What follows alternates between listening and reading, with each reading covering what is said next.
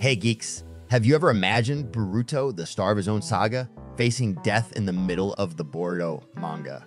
With new enemies on the horizon, it's possible that Boruto might not survive, but let's dive in together to understand how this could unfold and its connection to past events. Prepare for a mind blowing journey, but only metaphorically speaking. Of course, attention, all nerds Boruto is now facing a league of ultra mega powerful enemies. New adversaries keep emerging, each more formidable than the last. We've seen Code theoretically stronger than Naruto and, and combined, and now we're introduced to the Jews' freaking egos, who are even more powerful than Code. The power scale just keeps climbing.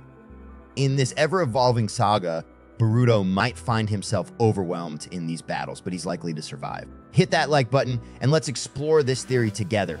Remember, your support helps bring more theories to this channel. The fact is, Boruto's power will only continue to rise. The narrative approach post time skip was relatively calm at first, with characters growing stronger, but not to an astronomical level.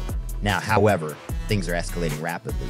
Towards the end of the series, characters like Naruto and Sasuke achieved divine powers, and villains like Madara and Obito harnessed the Jube's might. Kaguya was the strongest of them all. Have you noticed how dramatically the power graph has soared from the beginning to the end. Boruto's journey would be no different. He started off stronger than Naruto at the end of his saga, demonstrating his might against Korra and Code, though in theory, as Code's practical power hasn't quite lived up to the hype. Boruto has already shown incredible strength, such as using the planet's rotation power. Yes, you heard that right, the planet's rotation. This is just the tip of the iceberg. Boruto has much more power to unleash. For him to evolve, he needs worthy adversaries, and we've seen what he did to Code, thoroughly overpowering him. Poor Code has been replaced as the main threat by the Jub's Echoes, the evolved forms of Coach's Dirty Gyros. These echoes, gaining consciousness and acting independently, pose new and curious threats. From one chapter to the next, we saw Boruto overpower Code, only to retreat under the pressure of these new creatures. Thus, the evolution from code to these entities marks the arrival of powerful enemies that will push Boruto's development. They are becoming more powerful and numerous, setting up a gigantic challenge for Boruto. He, he must be cautious to avoid death, but if he fails and dies, it won't necessarily be the end of the manga. Instead, it could mark a new beginning.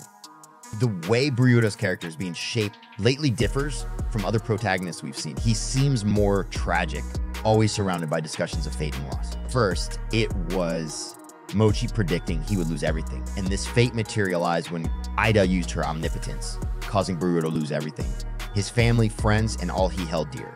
Now, the main ego of the Jub is back with talk of Boruto's fated life, suggesting more tragedy ahead. Having lost everything, including Sasuke, Boruto only has his hope in life left. Therefore, I believe there's a significant chance Boruto might die in the story but this wouldn't mean the end of his tale. In fact, it could be quite the opposite. Boruto is a full Otsutsuki, and we mustn't forget that. He possesses all the capabilities of an Otsutsuki, including marking someone with karma. The Otsutsukis have survived for millennia using this strategy. They mark a susceptible individual with karma, and upon their death, they can return through the slowly unpacking karma in that person.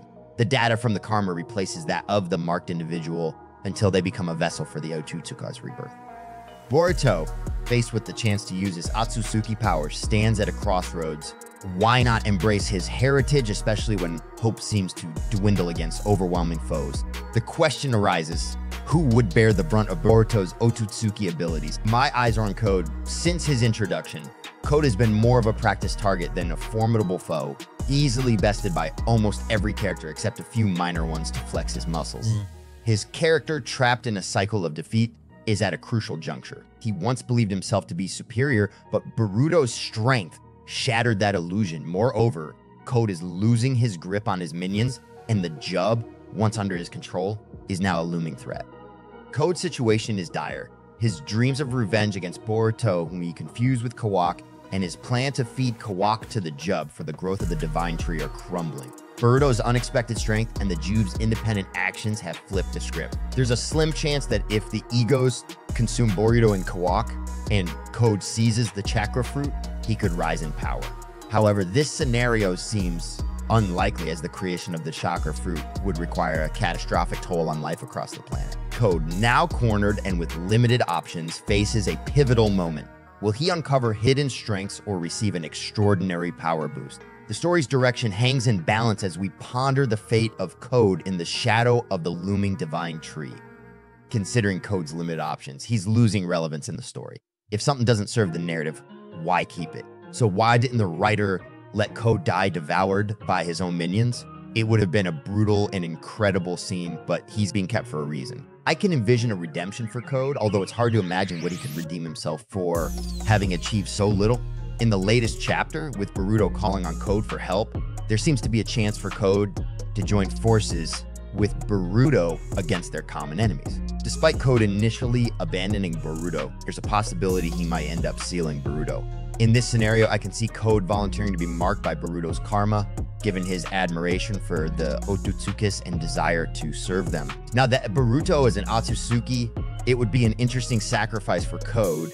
In this way, he would carry Boruto's DNA in the karma, and his existence would be erased when the karma unpacks to resurrect Boruto. Perhaps at this point in the story, the writer will make us sympathize with Code, making his sacrifice impact.